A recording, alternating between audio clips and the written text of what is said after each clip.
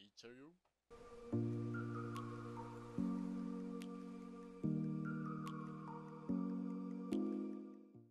はい、皆さんこんにちは、せなです。はい、今回ですけども、今回はですね、ちょっと特殊にですね、YouTube ライブをしながら撮影をするっていう、ちょっとまあ、いつもとは全く違った方法で今撮影してるんですけども、今回はですね、この僕が作ったこの学校課題の小学校を使いまして、屋根伏せ図であったり、まあ、上から見た図とか、そういったものを作る方法、見えがかり線までね、全部見えるやつかな、簡単に噛み砕いて言えば、をえー作成する方法っていうのを説明していきたいと思います。それでは早速やっていきましょう。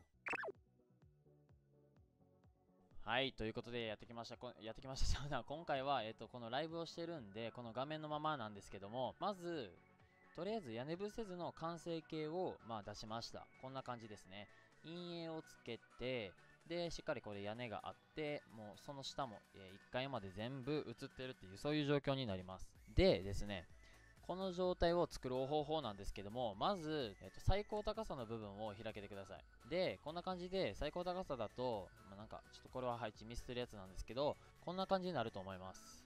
で、屋根伏せ図はできてないので、この状態で右クリックを押してください。で、右クリックを押したら、平面図から新規 3D ドキュメント作成っていうのが出てきます。で、こいつを押しますね。で、こいつを押したら、こんな感じで出てきます。で名前名前を YouTube って一応やって作成しますね。はい。で、こんな感じで今作成しました。あれ？これ作成しても何もできてないやんと思った方結構いらっしゃると思うんですけど、で、ここからですね、まだいりまして、設定をします。3D ドキュメント設定を押しまして、こっから今見上げになってるんです。これ見上げにしたら天井、天井図になりますね。天井物せず、天井図になりますね。で、これを見下げにしてください。で、見下げにして OK を押します。で、今の状態だと、見てください。とりあえず上から見下げてるなっていうのはなんとなくわかる状態にはなりました。で、ここでもう一回ちょっと、今今のね、本当は1回でやればいいんですけども、ここでオフセットで高さを入れます。15メーターぐらいかな。見捨てますね。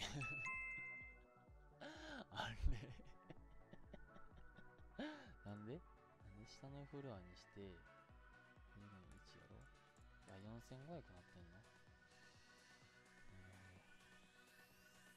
あ、じゃあこれマイナスや。間違えた。これマイナス。今僕間違えましたけど、これマイナスにすることを間ち、えー忘れないでください。で、この状態で OK します。じゃあ、これちょっと重たいんですけど、で、僕のは特にちょっと重たくて、データがアホみたいに大きいんで、っと待ってください。はい、はい、こんな感じで今出てきましたね。これ今僕完全にオフセットってした、えーオフセットのところを、えープラス1万5000にしたんですけども、そうしちゃうと上側に1万5000なんで結局意味ないんですね。で、さっき見えてたところすら見えなくなってしまうみたいな状態になりますので、えー僕が失敗したようなことを、えーしないようにマイナスって打ってから数字を入れてあげてください。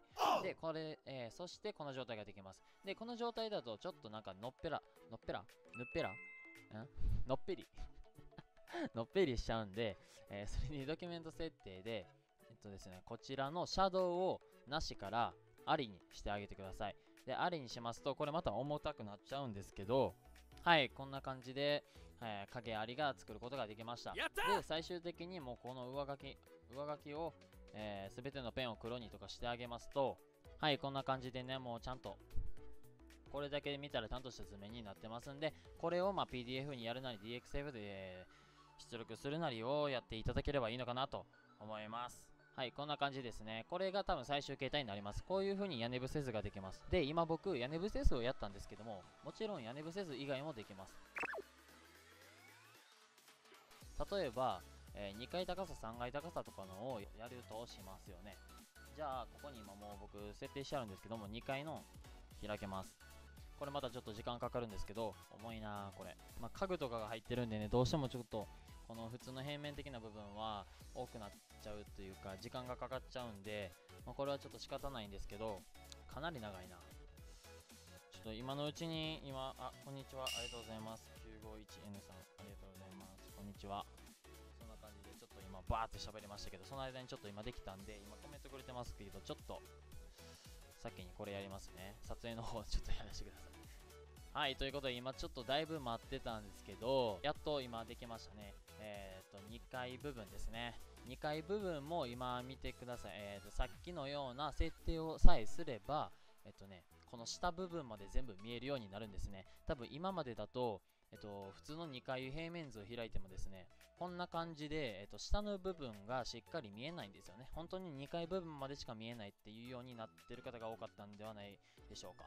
っていうことなんで、このさっきの見えがかりの方で設定すると、こんな感じでね、下の方まで全部見えることができますので、こちらもうまいこと使えばいいのかなと思います。で、一つ欠点があります。一つ欠点があるのが、階段が全部切断面が、まあ、切断面で綺麗に切れてしまってて、えー、正規の図面の描き方ではなくなるという点です。まあ、ここは DXF ファイルにした後にイラストレーターとかで、まあ、変えていただければ、編集さえしていただければいいのかなと思います。はい、ということでいかがだったでしょうか？はい、今回の動画はね、こんな感じで屋根伏せず、多分これは屋根伏せずって結構ね、結構なって、結構ね、どんな動画でも使われ、どんな動画でも もう、ほんま噛み噛み。いつもこんな感じでめっちゃ噛んでて、いつもカットめっちゃしてるんですよね。もう、ほんまに恥ずかしいこれ、ライブでやったら。はい、いかがだったでしょうか？今回はね、屋根伏せ図の作成方法を取っていったんですけども、まあ、屋根伏せ図は結構シートであったり、まあ、学校の課題であって必要要項にも入ってたりする、まあ、結構メインの図面ではあると思いますので、こちらのね、でもまあ、アーキキャドでこちらを作る方法っていうのは結構わからない方もいらっしゃったと思うので、今回はこの動画を撮っていきました。はい、今回もね、良かったなと思ったら、グッドボタンと高評価よろしくお願いします。次の動画も楽しみにしておいてください。今回は以上になります。ありがとうございます。